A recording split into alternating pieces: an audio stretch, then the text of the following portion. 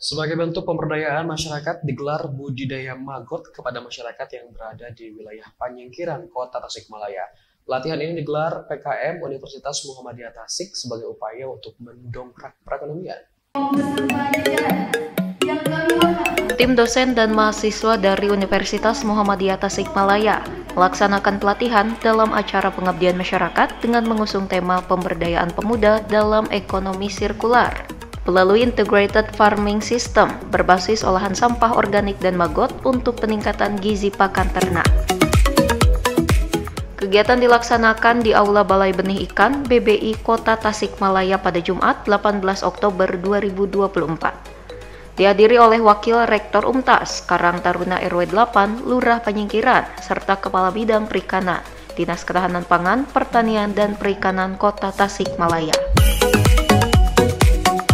Pelatihan ini bertujuan untuk meningkatkan pengetahuan dalam hal pengelolaan maggot dengan hasil yang bagus, sehingga baik untuk digunakan sebagai pakan ternak.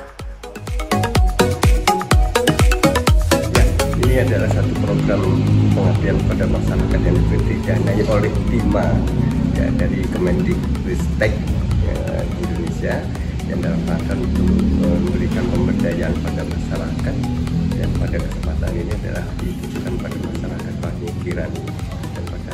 akan kita berikan satu ada dua momen atau dua session dari pelatihan dalam bentuk pengenalan bagaimana mengolah maggot dan kemudian besok akan dilangsungkan dengan pembuatan kandang maggot yang representatif sesuai dengan standarnya dalam rangka untuk uh, pakan ternak yang bergizi.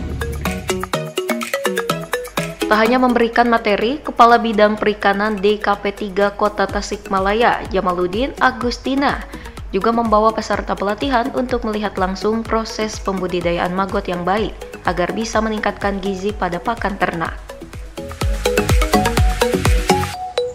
Alhamdulillah dengan terselenggaranya acara pelatihan kelompok untuk uh, integrasi antara maggot pengolahan sampah organik dengan pengurai maggot terintegrasi dengan ayam terintegrasi dengan ikan terintegrasi dengan ternak-ternak yang lain bisa berkembang di kota Tasik mudah-mudahan pelatihan ini bisa berkembang dan uh, mempunyai efek luas ke warga sehingga pengentasan uh, permasalahan sampah di kota Tasik bisa terurai dengan uh, pengembangan budidaya maggot di sekitar warga kota Tasik.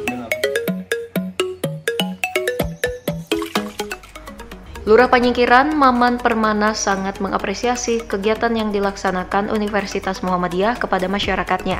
Maman berharap ke depannya ada kegiatan serupa di wilayah Panyingkiran. Harapan kami untuk program ini eh, semoga eh, berkelanjutan ya dari perguruan tinggi baik perguruan tinggi mana pun ya untuk eh, kegiatan pengabdian kepada masyarakat terkait program-program yang apa yang diluncurkan baik oleh pemerintah Kota Tasikmalaya eh, misalkan eh, pengolahan persampahan ya yang kedua untuk penanganan stunting dan kemiskinan ya mudah-mudahan eh, selanjutnya atau ke depannya lokasi tersebut tetap berada di wilayah kami untuk peningkatan kesehatan bagi masyarakat dan peningkatan perekonomian di wilayah Kelurahan Penyingkiran khususnya. Budidaya maggot selain membantu dalam mengelola sampah organik, juga bisa menjadi solusi menghasilkan pupuk organik yang bermanfaat bagi pertanian dapat meningkatkan perekonomian masyarakat.